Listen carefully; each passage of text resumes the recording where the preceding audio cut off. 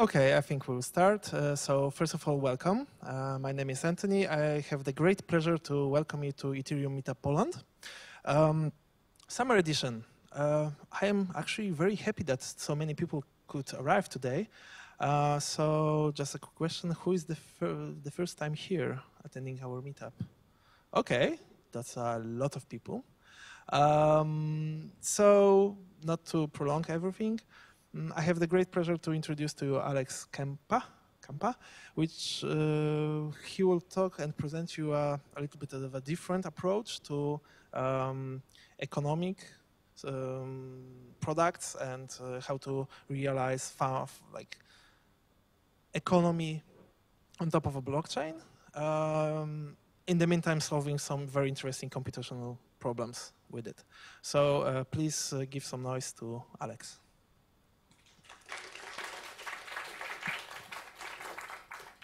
Thank you very much. Very happy to be here. Can you hear me? Is the microphone working?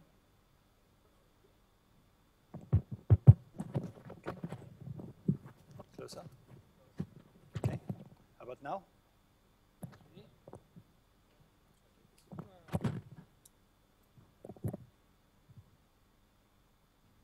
Okay, thank you. Um, yeah, let me just say a few words in Polish. Uh, bardzo się cieszę, że jestem w Warszawie. Uh, po raz pierwszy tam prezentuję mój projekt uh, tutaj w Polsce i, no, i w takim specjalnym miejscu.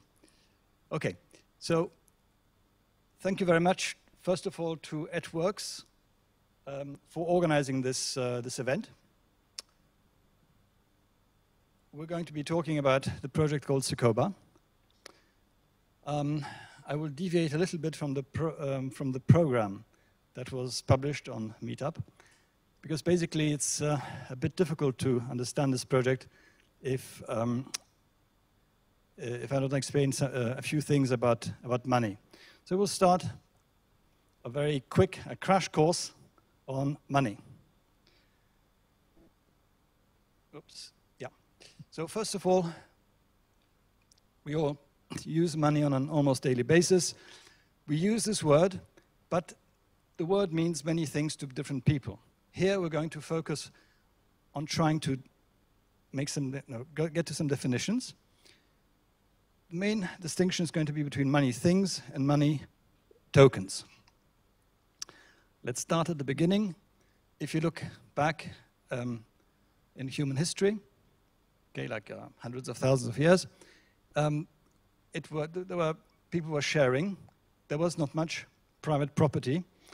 What private property there was, was basically stuff that, you, that people had on their bodies, okay? Amulets, talismans, stuff like that, jewelry, basically. And um, there probably is a good likelihood that what we today called money came from this, from these personal items which you didn't share with others. It was personal property. And actually, if you look at the, the image, um, until quite recently, um, here's an example from Africa, money beads, for example, here there were cowries, they were used as money and as basically jewelry at the same time. So this first type of money I call money things. At the beginning, there were physical things, cowrie shells, wampum in uh, North America, embroidered cloth, you had grain, you had metals, you had all kinds of stuff that somehow got standardized in some ways and then was used for exchange, let's say, okay, in different ways. Now, what's important to understand is when you read somewhere in some magazine and, and you see, oh, they used stones for money, or the Indians, American Indians, used um, shells as money. Well, it's not the same usage as we use, okay? So we had some of these sort of money things that were used for purely ceremonial purposes. Some of them were used for purely social purposes, okay? Some were used for exchanging goods. So the, the range of usage varied enormously, and only part of it more or less corresponds to some extent to what we would associate with, with money, okay? So some of this so-called money that, that people write about are actually just valuable um, artifacts. Okay, so when did modern money emerge? Modern money emerged between four and 5,000 years ago in, in um, Mesopotamia. We're not sure about China, but probably it was, was not China, probably. So people gradually understood that you can actually, instead of all the time using physical artifacts, you could actually start using promises of these money things. And therefore, the concept of money token appeared. A money token is a promise of a money thing. A banking system emerged in, in Sumer, Mesopotamia. Initially, let's say 5,000 years ago, it was the temples that started doing banking, and afterwards, commercial banks appeared. And you, you basically already, 4,000 years ago at least, you had banks, you had current accounts, you had trade loans, you had the equivalent, equivalent of checks, um, all kinds of stuff. You had virtual money. They didn't have coins, right? Um, they used clay tablets because they didn't have paper either. And what was actually very interesting in this, in this um, Sumer culture is that during the, the few centuries where these things was really booming, women played quite an important role in banking and in business. And then when things got a bit downhill, um, well, there were less women there. They had tamper-proof debt notes. That's very interesting. They were like the um, terms of an IOU. And oh, who, who doesn't know what an IOU is? IOU is a debt. IOU is a debt certificate. Okay. So what they had, they had debt certificates, and in order to prevent tampering of the terms, inside a kind of encasing, there was another clay element which confirmed what was outside. So you couldn't change the outside and change the inside, because to change the inside, you'd have to break the tablet. So this is quite a cool technique they used. All right, so what's important to know, and we're getting to the crux of this thing, that a money token, that's basically commercial money. Okay, that's real money. Why is it so important? Now, the fact that, of course, money means it's widely accepted, that, you know, it's standardized, it's fungible, all that, that's normal, that's the money we know. What's important is it's only with this kind of money, with credit money, with commercial money, that you get economic progress, rapid economic progress. Because the, the money tokens are decoupled from the amount of money things that, are, that, are the, that exist. All right? That's important. That's what drives business and the economy. So here, once again, the distinction. Um, and let me just note here, after remark before, that barter has nothing to do with it. Money did not originate with barter, okay? Fine. So a money thing is initially a physical thing, okay? That you agree on some characteristic. It can be owned, of course. You can own a piece of gold. You can own a, a bead of uh, okay? And the definition of money things can actually be extended very easily, very readily, to cryptocurrencies. You can own them. Now, money token is a claim on someone. You cannot own that. You can own a banknote, but there is a contract, uh, contract behind. So the ownership is not of the banknote, it's you are part, party to a contract, okay? So you cannot own money. Not really, not in a physical sense. And the other very, very important thing is that a money token is denominated in something else. It could be a money thing, or it could be a virtual thing. So it could be a money token denominated, denominated in silver, or it could be a money token denominated in euro. So a five euro note is a money token denominated in euro. It's a bit confusing because the money and the, the, the, the currency are the same. We have a special case of coins, which came much later, about a 1500 years after, after banking got invented, at least. Um, so tokens have characteristics of both money things and money tokens. And depending on how much different metal, uh, uh, the metal value, they can be more of the one or more of the other. So very quick on coins. So coins are really ir irrelevant. What you need to understand about coins is that when you have a gold coin, for example, from uh, Athens, okay, the value of the coin was not because of the gold. It was the gold that showed that the coin was valuable. Think of a Rolex watch. Do you know how much a gold Rolex watch costs? Anyone here know? Okay, I think it's around 30,000. I'm not sure, but around there. Do you know how much the gold in a gold Rolex is worth? Anyone?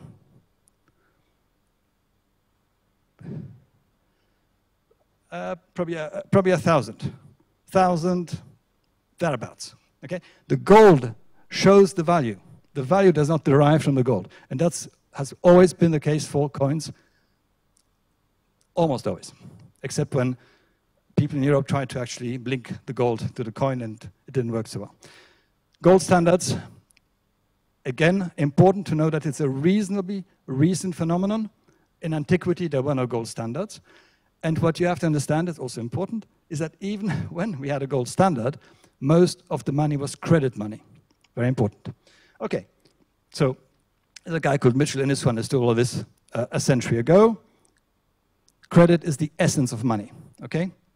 It, when once you take away the sort of stuff that the, the beliefs, the, the fact that some people just think there's gold or something else, it's basically credit. A certain type of credit, a high credit, of course. Now, let's go back to credit. Throughout history, credit was pervasive. I mean, everything in business is done, everything. Most business is done on credit, and historically has been done on credit. You had tallies when the, the British king, the English king, was paying his suppliers. He was paying with pieces of wood. That was credit, okay? Uh, when, when the tax collectors in England came back with the taxes to London, the carts were full of wooden sticks, okay? Credit. The medieval fairs were all about credit. We'll get to that. Merchants issued tokens, and we had lots of credit systems everywhere. Everywhere you look, and you have business, and you've got human commerce, you have credit. These are just some examples that I have no time to go into. into. So today, um, actually, no, I'll just go backwards. There's a very funny one in 1970 in um, Ireland, the banks closed. They didn't close for just a day or a week. They closed for something like six months. And you know what? People started writing little IOUs everywhere, and the economy continued to function without banks. It was extraordinary. And, and lots of trade was done in uh, pubs. So people went to see, oh, do you know this guy? Um, you know, is he a good credit? Superb story, read, read it up. So, if you take a historical perspective, the special situation that we're in now is that in history there was always a big, a, a large variety of money. First of all, much more credit was used, and there were many monies circulating. All right, and people are used to that. Uh, and again, there's reasonably recent examples. In in the early 1900s, before the Federal Reserve, if someone went from New Orleans to New York with dollars, New Orleans dollars, they would not be accepted in New York. He'd have to go to a bank with $100 from New Orleans. He would get maybe $97 in New York dollars. That's how it was. So this variety has disappeared. Money has become monolithic. Now, in our societies, Money equals bank credit. That's what money is. Okay? It's one type. So the role of banks, and again, that's very relevant to Sikoba because this is something that we do in Sikoba. What is a bank? A bank is a credit conversion mechanism, engine, whatever you want to call it. That's all it is. The bank, you go to the bank and give the bank your IOU, and the bank, in return, when you, when, when you make a loan, the bank will return its IOU. And the bank IOU is called money and will be accepted by everyone, by everyone. So that is what a bank does. it's an essential role, and it's more and more essential because money is all we use because we don't use credit so much anymore. So we need the banks more than, more, more, more than ever. Okay? In Germany, until about 30 years ago, companies used IOUs quite a lot. And then the banks went and said, hey, we can do this for you. And they offered them super deals on bank credit. And German companies stopped using IOUs. And now they're dependent on the banks. That's the trend, okay? Um, I have written a book, a booklet. It's not so much, but a booklet about some of these issues, okay? So, right. So we, we are in this monolithic monetary system. We have partly forgotten how to use credit. But does any of you have any problems with that? I mean, you've got money, you've got credit cards. It all works quite nicely. Okay, so why am I complaining? Well, that's because you're in Europe. And lots of people in the world do not have these instruments that we have. So, just come back here once. We're talking about, about, about half the world's population is underbanked. Half, probably a bit more even. So, just to give some examples of the costs for people in developing countries, for companies in developing countries, um, microfinance is a, a, great idea. So actually, for, for, for many companies, it's a, it's a, it's a deal, you know, they, it saves the, the livelihood to be able to get a small loan, but it's expensive. It's the global average for microloans is 35% per annum interest, which is great for these guys because if they go to informal money lenders, the interest gets up to 1,000%. There are places in the world where if, you, if you're desperate, if you're a desperate small business and you absolutely need cash, you'll be, end up paying 1% per day. You do the math, gets 2,000% a year. And then there are all these guys who have no access to financing at all. Zilch. Then you have these success stories. M-Pesa in um, Kenya and in the countries around Kenya, where people have uh, uh, got this new system of sending money via their smartphones. Um, mind you, they, you have to have money first to be able to send it. But for them, it was a great thing. Everyone's talking about it. What a great, and they paid over 10% in commissions on small tra transactions.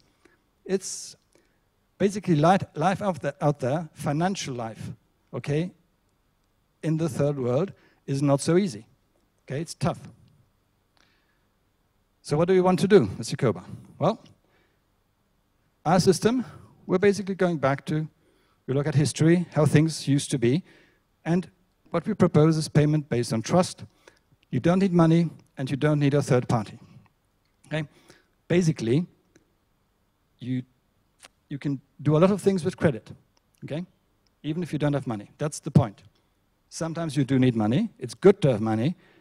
But if you, if you don't have money or if you have not enough money, you can do lots of things with credit. So how does it work? I'll get through the mechanics. And the reason I did this lengthy introduction is if you've listened a bit, then the mechanics of all this will become, will, will look pretty obvious. So we have the usual suspects, Alice and Bob, right? So Bob trusts Alice and gives, gives her a credit line. So nothing happens yet. Bob simply says, hey, Alice, I trust you up to 500 euros, for example, okay? So what, what happens now? Well, nothing at the beginning, because if Alice never goes to Bob and wants to buy something from Bob, nothing happens ever. But let's say Alice goes to Bob's shop and buys something for $200 or euros. Now Alice owes Bob 200. Why did it happen? Because Bob had agreed beforehand, because he knows her.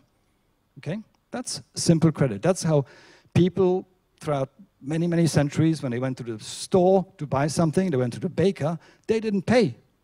They said, ah, I need a, bread, I need this, write it down. That's how things worked. people work, uh, for many, many centuries, in, also in Europe, people lived with very little money. So there may be conditions. That's normal. So let's say Bob says, well, sure, I'll give you a credit line, but you'll have to pay some interest. Okay. And, well, as in real life, debts need to be repaid. And one of the ways is by actually paying after a certain delay. So Bob may say, well, after 30 days, if there's no offsetting transaction, you actually have to come up with the cash. What's or with money? What's money? Money is bank credit. So the Alice has 500 euros at the bank, which means exactly that the bank owes Alice 500. And so Alice makes a bank transfer to Bob, and now the bank owes Alice 300 and owes Bob 200. Bob is happy because the debt is cleared between Alice and Bob. Okay? Now, so far it wasn't very interesting because we only had Alice and Bob and they know each other and they just, you know, they could go on transacting forever. Um, but if I can only transact with people I know, you know, I may have lots of friends, but it's not enough. I mean, it's not that many people. I know them anyway. Credit conversion comes in, is when I can start transacting with people whom I don't know, but let's say someone I know is trusted by someone else. The simplest case of credit conversion, Alice goes to Charles's shop. She wants to buy something. And uh, she says, well, can I, you know, can you write it down? And Charles says, no, I don't know you. Um, but then they find out that they know Bob. And Charles trusts Bob, and Bob trusts Alice. A transaction is possible. Okay? So what happens? Alice pays Charles, via Bob, but actually Charles has no exposure towards Alice. Charles only sees Bob. She says, ah, Bob owes me 200. That's fine. I accept that. I don't accept Alice's 200. I accept Bob's 200. So now, Charles, uh, Bob has a debt towards Charles, and Alice has a debt towards Bob. And for this to happen, Bob must have actually accepted to do credit conversion for Alice beforehand. It's not automatic. Okay? This has to be accepted, and there may be some fees involved in all this. Okay? Bob may say, I'll do credit conversion. I'll, I'll let you use my network, but you'll pay a commission. Could happen, you know, in business. Then the second concept is we've just seen credit conversion. It's fine. It allows people to transact out, outside of the immediate circle of trust. The optimization comes in when existing exposures are in the system, someone new joins the system, and the system will try and find uh, opt uh, an optimal path. Sorry, um, I'm not on the right slide. Let me just backtrack a second. If there are more than one possibilities to pay, the system will find the cheapest for you. So you want to pay someone, and you, there may be many possible intermediaries with different costs. So the system will try to find the cheapest one for you, the buyer, okay, for the, the one who takes the credit.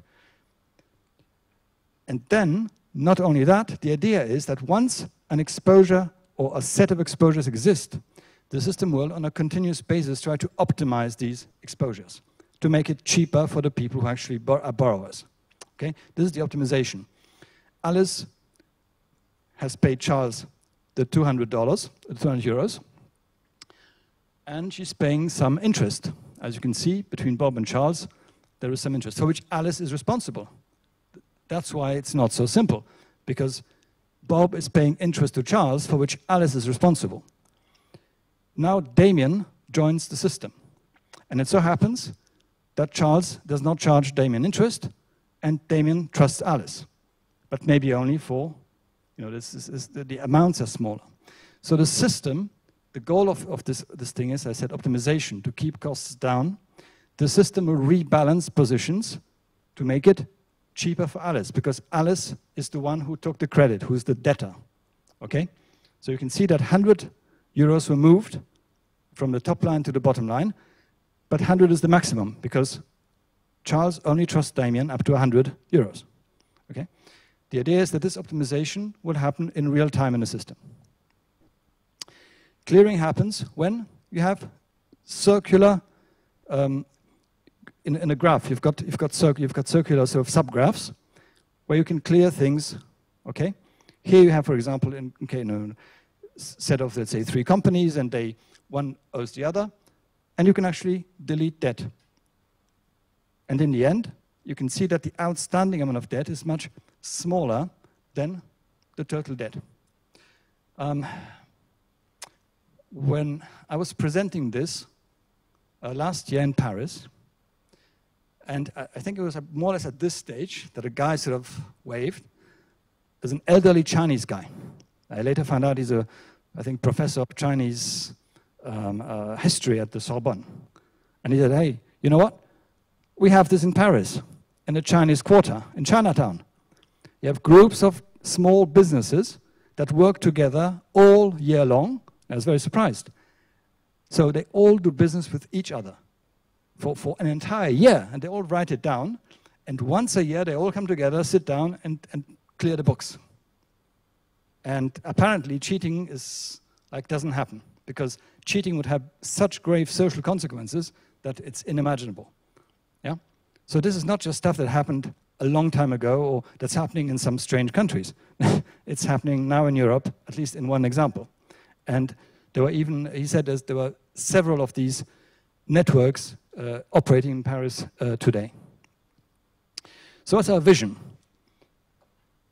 It's reasonably clear that, you know, we, we all know that we have lots of payments and remittances. We that exists already. It's a huge, it's a huge market, and you know the cryptocurrency space um, is partly trying to address that.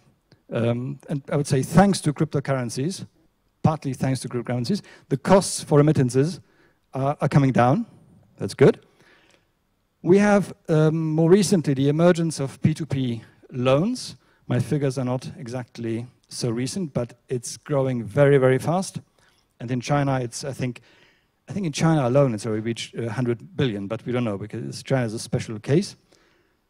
And we think that the P2P IOU market, that's the next big thing in finance.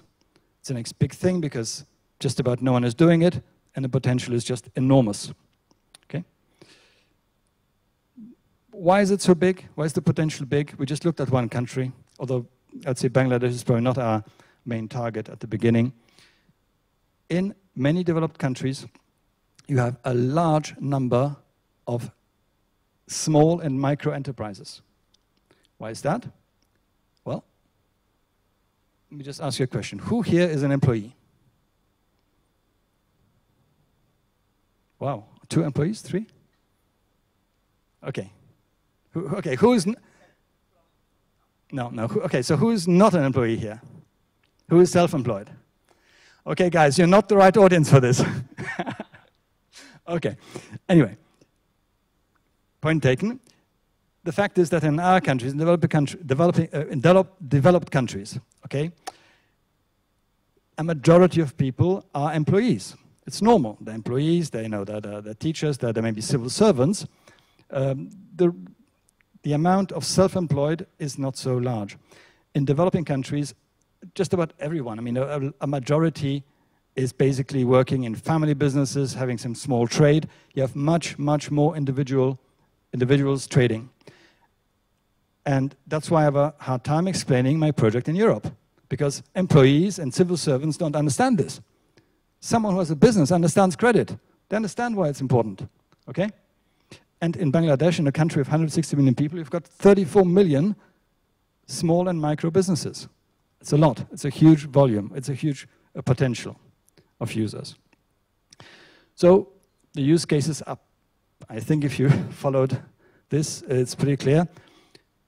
Main goal is to jumpstart local economies, improve them, you inject some credit, give them the right tool. Okay, now, why is blockchain? I haven't yet mentioned why blockchain is important. Blockchain gives the certainty that what is registered is there. Okay, if you have a verbal agreement, if you have something on a piece of paper, it's complicated. You, you know, the other party may renege, Someone may try to say, oh no, it was 100, no, it was 200. Here we have a blockchain to register all of these debts at every single step. step. And our goal, of course, is to make these, um, you know, be valid in court. It's a proof. Okay, so you, you can't cheat. Once you engage in, you have a debt, you have a debt. Okay, it can be an alternative to microcredit systems. That's pretty obvious.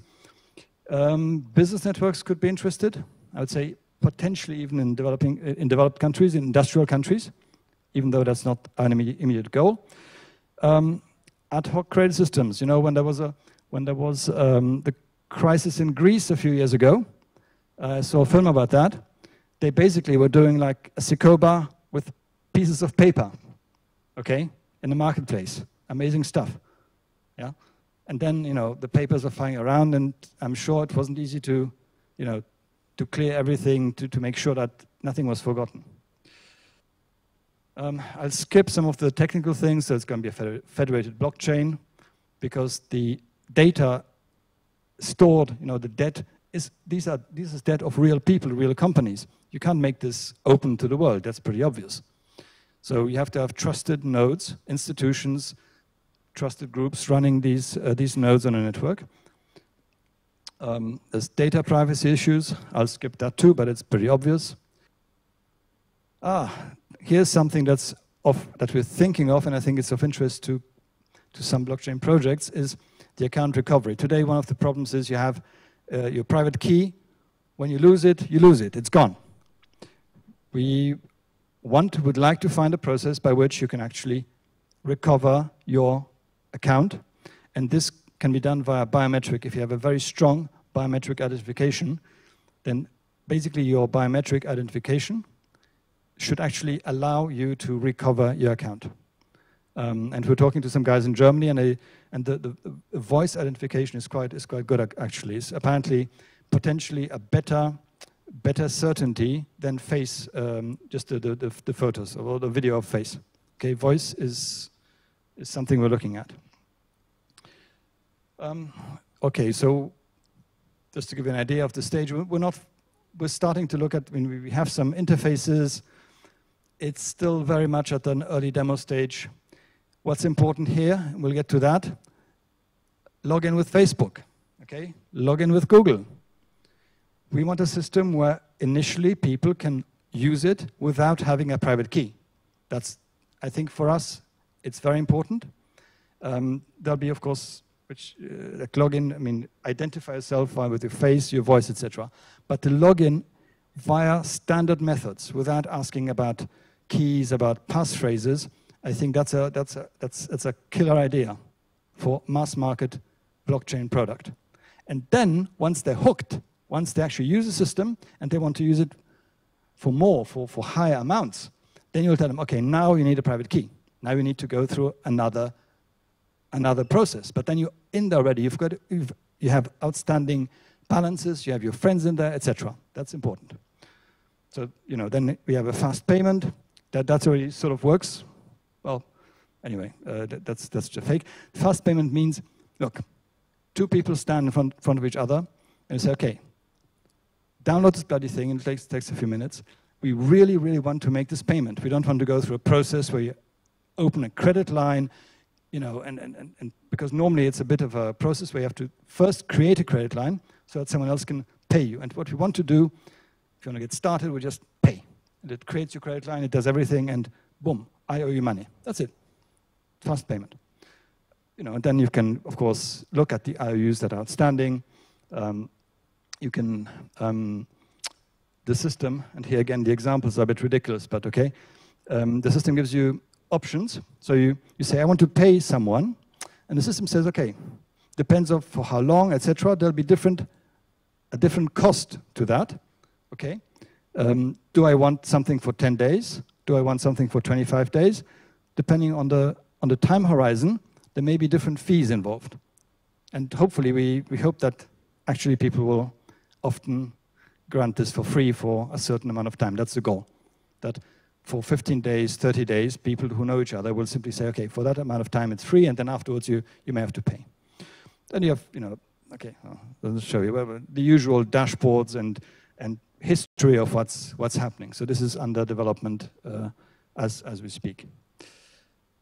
Um, right, so now I've done num um, point number one of the, of the plan. Uh, and given that uh, EdWorks has, has uh, told me that I can have four hours, I think we're good. We're on track. There's only two and a half hours left here. Good. that was supposed to be funny, huh? So we're getting uh, to the, uh, to S nodes, which is um, something that uh, Marek has heard of already, but it was called Z nodes uh, when, when we talked about this. Um, I'll try and be reasonably brief here. It's, it's um, so this is really something that happened while we were working on our, on our main project. We knew we want this on a blockchain. Let's say that two and a half years ago, very beginning, you know, we were blue-eyed and, and etc. We said, well, what about Ethereum? Well, we very quickly understood that that's not an option. Um, we looked at other things. What about Hyperledger, etc. And every every platform we looked at was not ideal. And in the end, we said, well, let's, let's see what we can do. You know, let's see if, you know, is there something, um, actually, know, in, while we started already on this, we found out about Tendermint and Babble. Babble is something new. You may or may not have heard about it. It's like a son of Tendermint. So these are good. So we said, we saw that what they were trying to do is close to what, um, what we need, but not quite. So they didn't, we didn't just stop and say, oh, we're going to use Babble and that's fine, that's the solution. It's unfortunately not. So we continued. And so we came up with um, basically, in the end, just a couple, couple ideas uh, that, that we found important. The first one is, um, I'm not going to go exactly through this whole chart here. The idea is, it's this login that I showed you before. The user goes through the normal access layer, AWS Cognito, he gets registered via, via email, he gets his SMS, he goes through a normal login procedure, and then he can start using the system. Because we have a gateway, a trusted gateway, that will actually sign his transactions for him. That means that our transaction format must support it, right? That means that if you look here and in this, in this, in this uh, it's just a fake transaction, it's our, it's our format if you look in the first of yellow um, uh, part that's marked in yellow, you see that the credential, there is no public key there.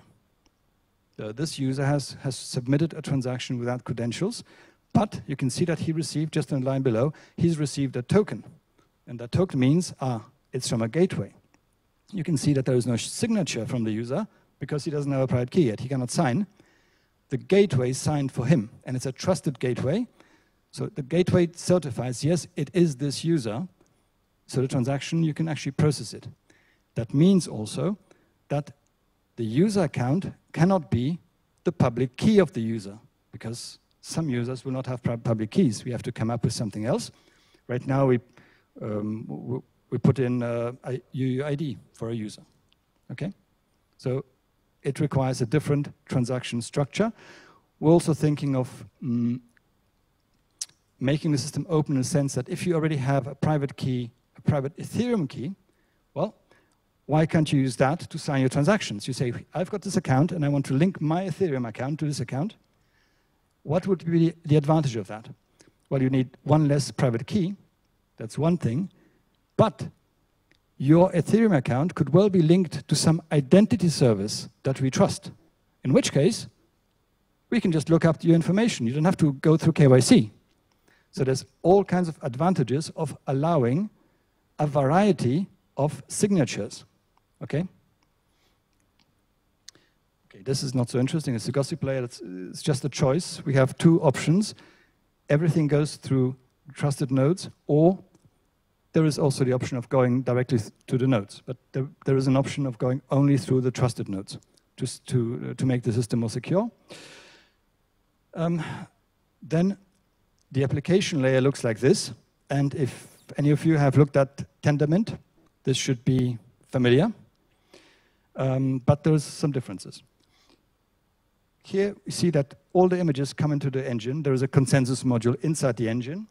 And then the, the engine, okay, which is the consensus engine, talks to the application through some API or some Golang interface. There's a, there's a state, there's a database. And the engine also records the transactions and the results, the changes in a world state, potentially just the hashes of the world state in the blockchain. The application doesn't need to see the blockchain. So what's, what's different about this and, and, and uh, let's say something like Tendermint? First of all, you don't need the user interaction layer. If you look at the client application, in something like Tendermint, the application has to manage the interaction with the users. It has to take in the, uh, the messages sent, and it's it's not, it shouldn't be its role to do that. And plus it's dangerous because it exposes the application to the, to the world. Okay? In our case, the application only receives, only communicates with the engine. Second, and we'll get to that also, the consensus module, I think, would be good to have it pluggable. The two projects that I know, as I said, Tendermint and Babble, they have predefined consensus engines. The consensus is very tightly bound you could probably try and you know fork the project and try and get another, but it's it's that's not the design. We would like a design where we can actually plug the consensus engine. Okay, um, and there's reasons such as for some projects, if you have, for example, a very high trust in your nodes, and you say, well, okay, we don't need to have you know to fear uh, uh, even one third attacks. Okay, we mostly want to just pre uh, prevent failures, and you know once in a while there may be someone trying to, to do a Byzantine thing, but it's, we're fine with even 20% of the nodes, which is possible. You do a very fast consensus. If you have a very good network, you do one consensus. If you have a slow network, you do another consensus, because in slow networks, you need something that's resistance to asynchronous, asynchronous you know, stuff. You need an asynchronous uh, protocol, etc. And then, of course, the sort of holy grail is that you, that you switch and the, the real holy grail, grail would be that the system automatically switches when necessary, but okay, let's not go too far. At least you can choose your protocol, that's our goal. Um, and then you've got the security of going through some external service and you have the capacity, the fact that going, for example, through, through uh, AWS Cognito, okay, some crypto guys will not like it because it's Amazon, but, okay, if we're targeting millions of users, because this is a system where we want to be ready for it, okay? We don't, we don't want a system where we, you know, we say, oh, we have 1,000 users, 10,000, and then the, the day when we have 100,000, the system breaks. We want at every stage something that can handle volume. And with, if we have Amazon on one layer, we're good. We can, Amazon can handle millions of users. That's fine. We just we don't have to solve all the problems at once. Okay. Um, and finally, come back to um, consensus. One of the reasons that um, we were doing all this is that we didn't find a platform that did the kind of consensus that we needed, or that we wanted, let's say. Um, so for Sikoba, and we will have, well, we've started on, on the architecture of consensus. We'll have a multi-stage consensus, okay? You first have the traditional consensus where you order messages and you put them into blocks. That, we know how to do that. Okay, that's not a problem. Obviously, we're not going to, to do proof of work. We're rather, you know, going to do some, some Byzantine uh, protocol. And one of the great things is that because of Bitcoin, because of this blockchain movement, there are now many, many more people than before, writing papers, researching this, so it's fine. We, we have a number of good candidates for that. But then once we have our, um, our blocks of transactions, we have to apply these transactions to the system. And this is an optimization problem. If we have 10,000 users, we'll be fine. But with a million users or more, we'll have start having problems. It's, it's, at some stage, this is probably going to be a hard mathematical problem because we want con continuous optimization of a huge graph with dependencies, etc. So that's where this uh, idea comes of um, um, optimization uh, consensus protocol, where we said, well, let's use the power of the nodes. Let's not have every node do the same. We know the world state. We agree on a world state, well, state is simply database of, of the, the, graph as it is and all the exposures, etc. And the, you know, ex every exposure has conditions, okay? Um, so it's not just a simple exposure. It's, change an exposure, you have to also count the, the, the, the effect on interest rates on fees. We know the transactions we're going to process. So every node gets the same initial configuration. We, that's one step of the consensus. That's the easy step. Afterwards, the idea is to give every node a certain number of seconds, maybe just a couple seconds, and every node independently looks for a solution. And then, then there's the tricky part where we, we're not sure yet how, uh, what's the best way to do it. We stop the race, everyone declares, shows what they have found, and the node that found the best solution wins. We need, what we need for that is a kind of measuring function, okay, an efficiency function globally, so that, of course, finding this, this best solution is hard, but once a node presents a solution and says, oh, you know, my, my result get, gets this mark, okay, on efficiency, and everyone says, oh, well, mine's lower, the verification, as usual, is, is much simpler. So every node works to find the best possible solution. They declare the solutions, they, they see who got the best solution, they all verify that solution, and that becomes the solution of that block. And then we continue, okay? Here we use the power of the nodes, and these will be very powerful nodes, so we can actually really get much better optimization and much faster optimization than if we had all the nodes do the same work. And basically that is, I wanted to keep that simple because we, we had some, uh, the first part was a bit longer. So that's me, and uh, thank you very much for attending. Um, before I, I finish, just, uh, I guess, uh, announcement I would say. We're looking for, um, in, in no particular order, uh, people who are interested in uh, research on monetary theory, students, okay, for, for, to help with research, write articles. Uh, we look for supporters and participants, you know, for IT, developers who are interested in this kind of stuff. Um, we use Go and Crystal Lang. I mean, we want to use Crystal Lang. Ever, ever, anyone heard of Crystal here? It's like Ruby, but uh, fast. and uh, I know it's an oxymoron, but uh, um, and yeah, and we're looking for contacts in developing countries. Who knows? Okay, and uh, we're also in a, in a fundraising mode, and obviously, some stage we'll hope to do either an ICO or some kind of something like that. Thank you very much.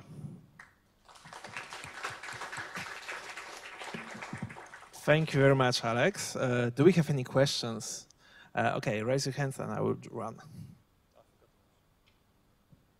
Uh, you uh, stated uh, very accurately that uh, in developed countries, it's not very popular that people are self-employed, while it's popular in developing countries. So don't you think that uh, goes against normal trend that, okay, now in um, uh, Bangladesh, there is a lot of, of uh, self-employed, but this number will be decreasing as this country will be progressing. Or you, you believe that simply this third world, because partially we see that in the world, that they will find their another path, that they will not be in 30 years like US now, but totally different.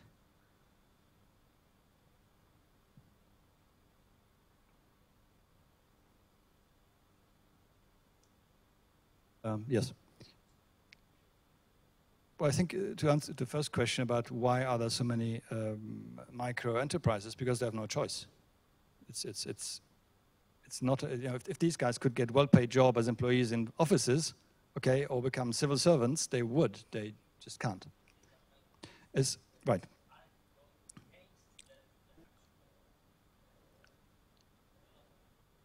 You mean the, the, the, the, idea that they will eventually become like us and... Uh, yes, that I, they will look, become ordinary employees. I, I don't know. It's not, I would say, uh, it's not that relevant at this stage for, for my project. I just know that this project can probably help them. And that, that the, the people I uh, talk to uh, or talk to who, who are in these contexts, they, they understand why this is useful. So at this stage, um, it, I think it can help them. What they do with it is another thing. I, I frankly think that, that, that Sikoba can, can be used in Europe.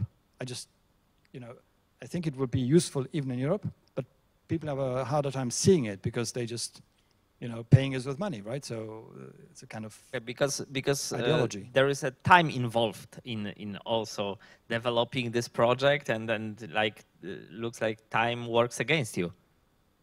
oh that I think that uh, trend uh, is slow. Uh, I mean, if it would take us 50 years to build Sikoba, maybe you're right, but it's not going to take us 50 years. Okay.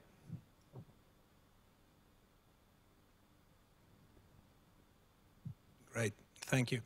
I wanted to ask you to what extent you're using smart contracts on your platform, and basically EVS. I mean, to what what is their role, what they're doing, you know, and what is the value added for for the participants?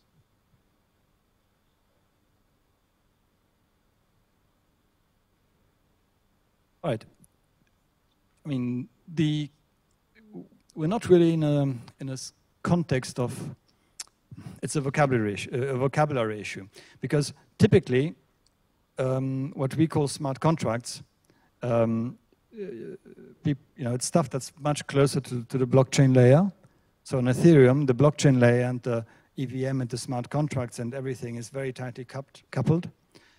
Um, we're in a completely different architecture where we have a normal application. I mean, this is, we could say that the application is the smart contract, but it's a traditional, big, powerful application. It needs to be powerful because it needs to process, uh, you know, large amounts of transactions. And it has a, it will have a, to have a, you know, a, a database, um, a modern database. The only thing is that all the transactions, the result of the computation at every step will get the result will be hashed and, and recorded in the blockchain. That- okay. Okay, okay, I understand. Thank you. Anybody else? Okay. I would like to ask what is the minimum uh, level of infrastructure that uh, you require from the user? Because I've got a feeling that um, this stuff uh, from uh, your end can be done on uh, basically Lightning Network Bitcoin with a more established token essentially.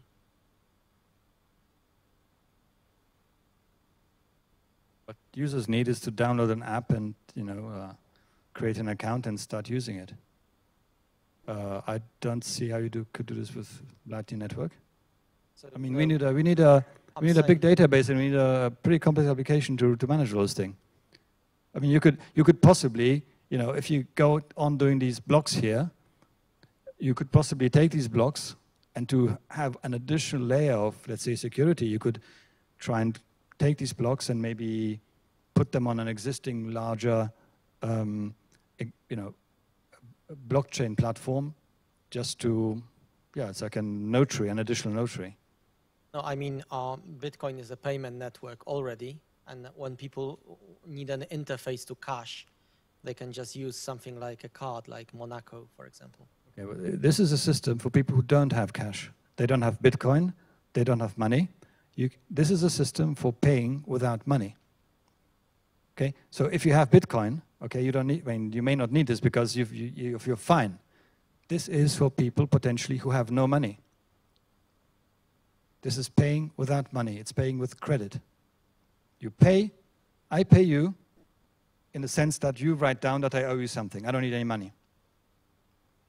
Alice goes to Bob and Bob writes it down. That's what this is. And the value added is that it's written down and certified on a blockchain so that Alice cannot say later, oh no, I, I, I forgot, I, I don't remember.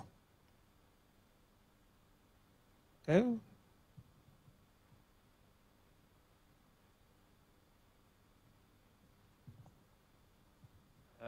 what blockchain technology technology you want to use. Uh, you mentioned that uh, it's not uh, Ethereum, not a Hyperledger. So, what is the solution? The, the, let's say the, the blockchain layer here is the least of our problems. The, the, once we have transactions in a world state, we hash the stuff, okay? We could not, not just that, we can actually take the transactions themselves because they're not, uh, they're typically not super complicated. Let's see if I can go back to this thing that shows a, a, a transaction, okay? You can hash the transactions that are in the block. You can hash the output of, of uh, the hash of the world state. You take that, you hash it, and link it to the previous thing. I mean, this is, it's easy. It's you, we write our own blockchain. I'd say that that is not a problem. That's uh, you learn that in in blockchain programming classes. So we don't need another uh, platform to do that for us. Okay, thank you. Okay. You mentioned before that uh, you don't need to create a private key to create a transaction, and the company somehow certifies that the user ha has a credit. How do you do that? And aren't you afraid of scams? For example, someone can ask you to certify, and then he will go away. Okay, so there's two two different questions. Um, the, the the gateways, okay. Um, we need someone certainly to to certify the transaction. So the gateway is some kind of trusted organization that has a trusted computer. Okay, so that's all it is. It's just a very trusted computer. Okay. Now, okay, this may be something that, that we haven't um, uh, addressed um, again um, enough. The question of trust in the system. All the people that, that will end up owing you money, you will know them, and you will have specifically set limits for them. You will never, in the system in Sikoba, you will never be in a situation where you wake up, look at your smartphone or on your, at your web interface and say, whoa, you know, Alan owes me money. I have an exposure to him. I don't know him. This will never happen by design. You, only people whom you have approved beforehand will owe you money. And you will say, well, this guy I, I, I trust up to so much, and this other guy, and you know them personally. The system, nothing will pre prevent you really to give a credit line to someone you don't know, but by design, we want to discourage that. You give credit lines.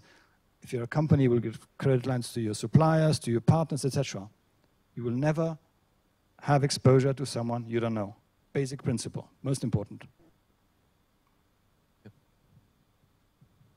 Another question? Maybe I missed something, but uh, how do you actually settle that in the end? And th does it like this application does it, or does it happen outside and you need to verify it? Like again, I'm maybe confused by the concept of managing this without the concept of money that you that you mentioned. Uh, but I'm just trying to imagine how the, the, the actual settlement yep. happens. Well, it's basically we have seen some of it here already. The the first settlement is if there is no other um, possibility that you use money. You use money as the settlement of last resort. Here, Alice owes 200 euros to Bob. And after a while, you know, the, the, these credit lines, okay, have terms, have conditions. And Bob's condition was, for example, 30 days. What could have happened is that on day 29, Bob comes to Alice's shop and buys something. And that would then settle potentially this debt. And then they would be clear. But if that doesn't happen, then Alice actually has to pay him either in the system, which is the optimal um, option, but for that, we'll have to have banks in the system, which is a, bit of a problem because it's regulatory issues. But that's the goal. But short term, in the beginning, it will simply be Alice going to Bob and handing in the money, and then Bob will, in his interface, say, okay, that's fine, she paid me. Okay? That's the one settlement, and the other of, one, of course, is clearing, which we have here. The fact that, you know, maybe it's not direct, maybe, um, you know, Alice owes Bob, but Bob owes Damien, and Damien owes Alice, and we can, and someday they just wake up and see, oh, it, it's gone because the system has done it by itself. Thank you. Okay, one more.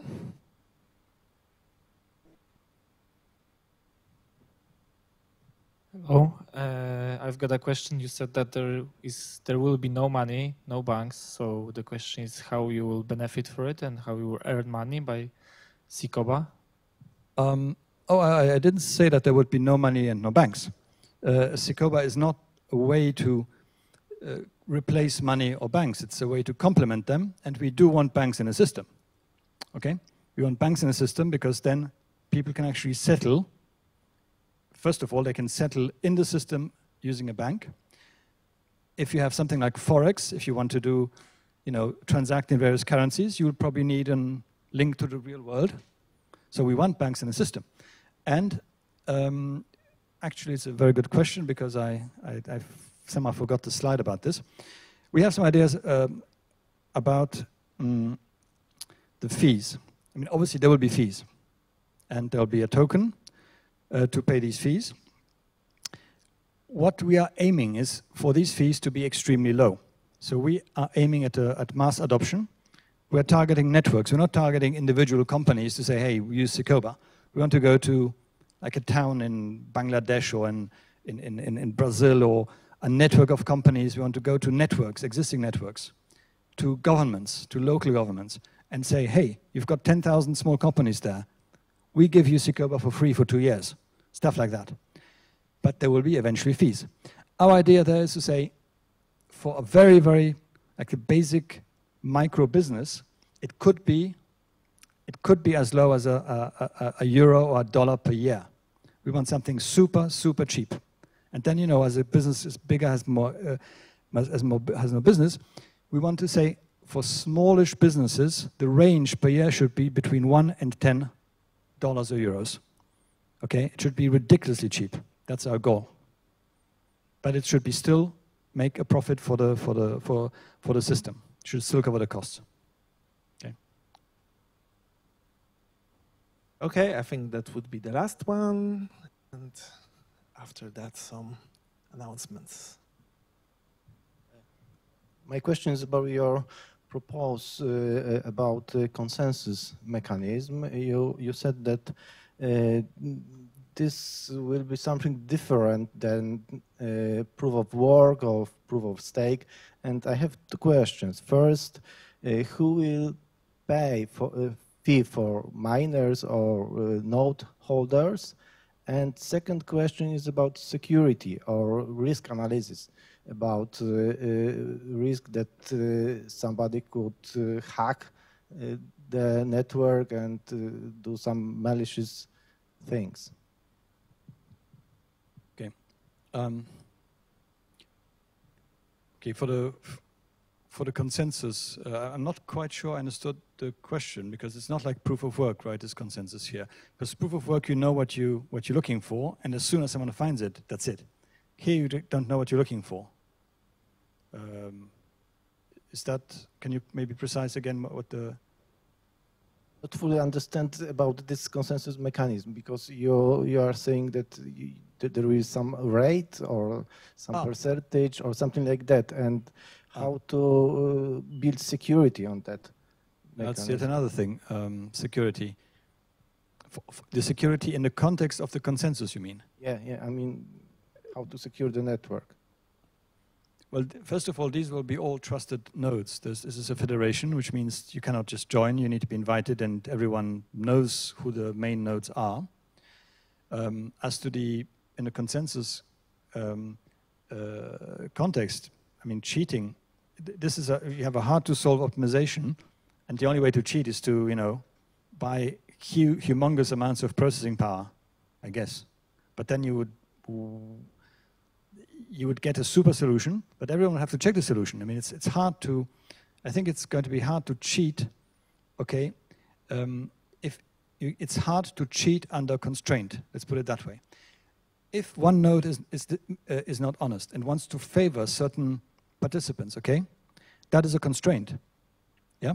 It means you need to do something that will actually, you eliminate certain solutions because certain solutions will be uh, not as good for this participant. And working in an optimization system under constraint gives you a disadvantage.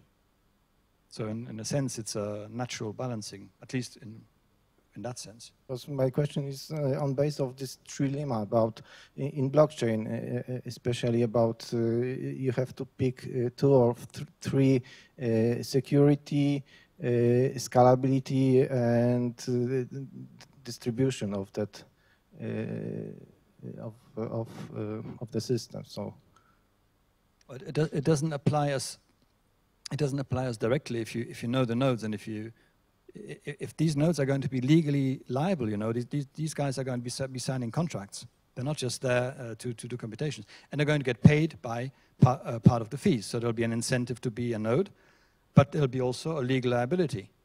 So um, anyway, Okay, I think uh, we can continue the, the talks uh, like after the presentation. Um, two more announcements. First of all, there will be a very short presentation by Grzegorz. Um, and after the boards, I would like to invite you for some pizza and some drinks that are behind us. Uh, also on Tuesday, we'll present a little special. Um, we will actually guest Ambrosius, um, a project we have the opportunity to work on, and they will present a little bit about their uh, work. So stay tuned and watch Meetup. Uh, so make some noise for Grzegorz.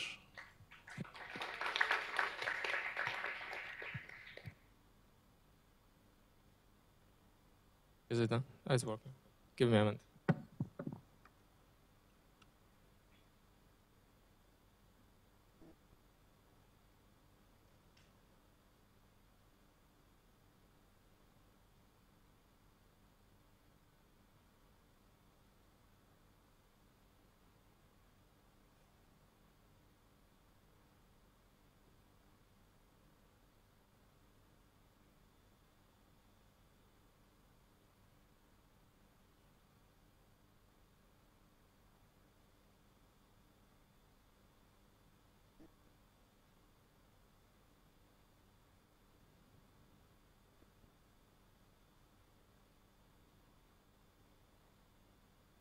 All right. Um, hi, guys. Uh, I'm Greg. Um, so, yeah, I want to tell about the new initiative that we created with uh, four other projects uh, in this like Warsaw space, startup space. It's called uh, Blockchain Hub. And uh, we want to create a space where all the blockchain projects can work together and alongside with each other exchange knowledge and just cooperate on building on top of blockchain technology. Uh, currently, we are uh, sitting in four projects in Mindspace, Warsaw, at Hala Koszyki. And we want to invite any other projects that are building on top of the blockchain uh, to join us, to visit us, to, know, exchange knowledge, drink coffee, uh, eat lunches, and all the stuff. And tomorrow, uh, we have a kickoff party uh, party, kickoff meetup uh, with the panel about blockchain beyond technology. We want to talk about social implications of blockchain and what this technology can accomplish uh, in the world. So uh, I would like to invite you, but I got information that uh, there are no uh, uh, places left. So I'm really sorry about that. Uh, but there is a, like an additional list uh, of participants, and we'll be trying to uh, get as many people in uh, as we get information about currently assigned people that they are not going. so there is still a chance to, to attend that.